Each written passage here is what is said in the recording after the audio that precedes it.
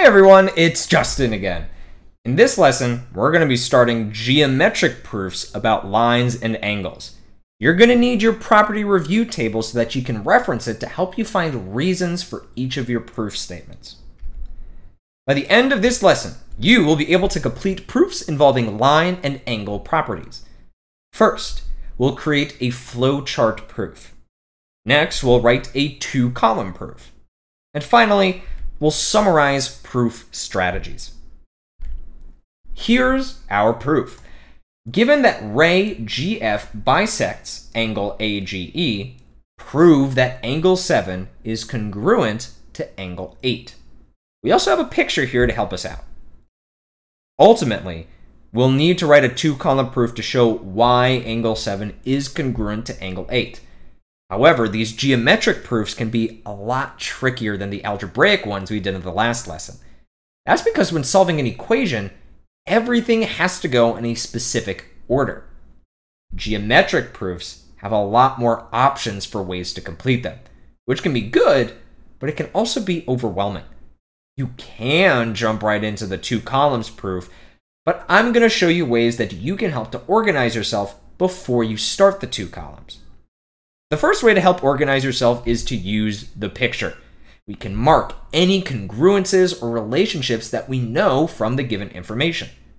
For example, if ray GF bisects angle AGE, that means that angle 7 is congruent to angle 6.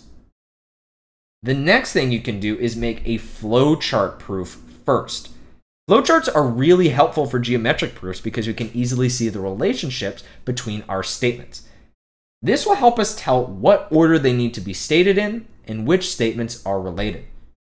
If you think back to your peanut butter and jelly sandwich activity, you might remember that flowchart proofs have three main features. First, anytime we make a statement, we put it inside of a box or a bubble. Then, we write the reason for each statement underneath the bubble. Finally, we connect statements that lead to each other with arrows to show the relationship. Once you've completed your flowchart, it should be much easier to make a two-column proof. Since we've already used our picture, let's move on to the flowchart next. Let's start with what we know so far. We know that ray GF bisects angle AGE. And we know that angle 7 is congruent to angle 6. And I know that these are related to each other. Which one did I know first? Ray GF bisects angle AGE came first. And then from there, I figured out that angle 7 is congruent to angle 6. That means our first arrow is going to go here. See how the arrow shows the order of the statements? Don't forget about the reasons. Remember, we have two options for reasons and proofs. They will either be given or they'll be from our property list. So how do I know that ray GF bisects angle AGE? That was given to us. What about the next statement? How do I know that angle 7 is congruent to angle 6? This one wasn't given to us, so check that property list. We know this because of the definition of an angle bisector. In your property list, this is called angle bisector definition. Either phrasing is perfectly fine. It's up to you what you prefer. Hmm. Well, that's all we had figured out so far from the given information. So let's look at our picture. Is there any other information you can figure out just based on the picture? Since eventually we need to prove an angle congruence, it's a good idea to consider other angle relationships in our picture. Did you notice that even though there are many, many angles in this picture, only four of them are labeled? Sometimes this is a hint that you may only need to use the labeled angles. Pause the video here and look for the other angle relationships between angles 6, 7, 8, and 9. Did you catch that angles 6 and 8 are vertical angles? And angles 7 and 9 are also vertical angles? Nicely done. Let's start with just one piece of information at a time. Which pair of vertical angles do you think is going to be most helpful for us?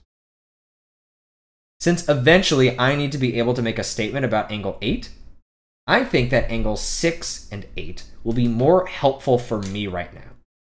Let's work with these two angles and see what we get. Okay, so let's make a new statement. Angle 6 and angle 8 are vertical angles. I did not need any of the other information in my flowchart to come up with this, so I'm going to put it in a new branch on its own. What's my reason for this statement? It wasn't given to us, so we'll need a property. Go ahead and check your list. We know that they are vertical angles because of the definition of vertical angles. Angles 6 and 8 are opposite angles formed by two lines intersecting. Hmm, do I know anything else? Oh, I know. Vertical angles are congruent. That means that angle 6 is congruent to angle 8. How do I know that this is true? The vertical angle theorem is what tells us that vertical angles are congruent. Now that comes directly from the fact that these are vertical angles. So let's add an arrow here to show that. I can also mark these two angles as congruent in my picture. Hey, wait a second. Angle 6 is congruent to angle 8, and angle 7 is also congruent to angle 6. What else can I state now? Angle 7 is also congruent to angle 8.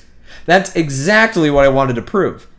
And I can also change my congruence marks in my picture to show that all three of these angles have the same measure as each other. Oh, wow, we are almost there. But hold on, let's make sure that we do this right. Remember, it's not just about getting to the final answer, we have to make sure we justify each step. How do I know that angle 7 is congruent to angle 8? Which property can we use? That's the transitive property of congruence. Take a look at our transitive property here, and then look at the congruences that we've already figured out. Do you see how they match up to let us conclude that angle 7 is congruent to angle 8? Remember that our final statement needs to exactly match what we were told to prove. So, let's check. Yup, these are the same and this statement actually comes from both of these branches. So we're going to put two arrows. Now we've finished our flowchart. Next, we need to take our flowchart and turn it into a two-column proof. I'm going to get rid of this picture now to make some more room for myself. The reason that using flowcharts to help plan your proof is beneficial is because they make it very easy to see in what order your statements can go. I'm going to just number each of these statements to make them easier to talk about. Each branch of our proof has to be written in order from top to bottom. So, for example, I can't use statement 2 before statement 1. I can't use statement 4 before statement 3. I also can't use statement 5 until after I use both 2 and 4. But beyond that, there is a lot of flexibility. Here are just a few examples of the order in which we can write our two column proof. Can you come up with at least one more that would also work? Here are all of the possible orders for this proof. This is a relatively simple proof, and there are still six different ways to do this one. As we move on to more complex proofs, I won't always be able to show you all of the possible orders for your proof, so it's important that you get a feel for how to determine if your logic is valid. So which of these orders makes the most sense to you? All six of these options are correct, so whichever you choose is fine. I'm going to go with 1, 2, 3, 4, 5 because that's the order that makes the most sense to my brain. I'm just going to pop that up top as a reminder for myself and to clear out some space for my two column proof. Now all that's left to do is put these statements into the two column proof. Let's set it up and label the left column as statement and the right as reason. Pause the video here to try to write in the statements from 1 to 5 in your two column format. One comes first, so our statement is ray GF bisects angle AGE. And the reason is given. I always like to separate each line of my proof just to make it easier to read. 2 comes next, so our statement is angle 6 is congruent to angle 7, and the reason is the definition of the angle bisector. Then, for 3, the statement is angle 6 and angle 8 are vertical angles, and the reason is the definition of vertical angles. Next up is 4. The statement is angle 6 is congruent to angle 8. The reason is the vertical angle theorem. Lastly, for 5, the statement is angle 7 is congruent to angle 8, and the reason is the transitive property of congruence. Whew! We made it! We were able to show exactly what we were asked to prove.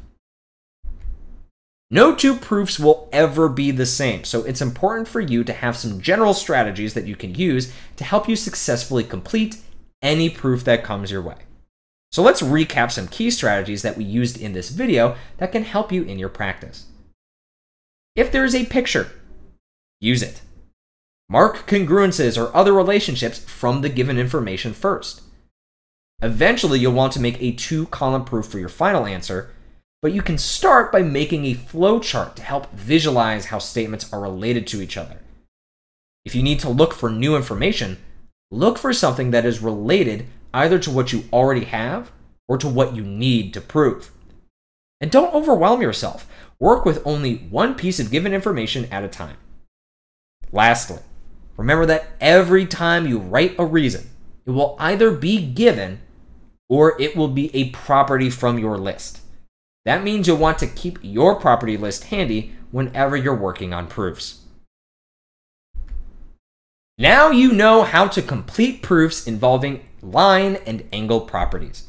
To help you be successful, use a flowchart to help you organize your thoughts, and use the picture to help you identify relationships. Then you can use your prep work to help you make a two column proof. Your practice for this lesson will have both an online multiple choice component and work in your notes template PDF. Make sure you complete all parts of the practice to help you master this skill.